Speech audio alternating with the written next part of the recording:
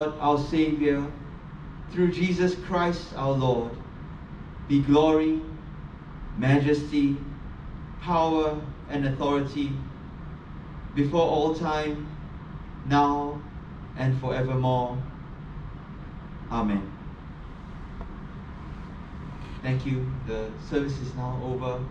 You may exit by the doors that you came through, and if you need a few quiet moments to spend time in prayer, I, I invite you to just stay behind for those quiet moments before God. Thank you. God bless. you. We'll see you again.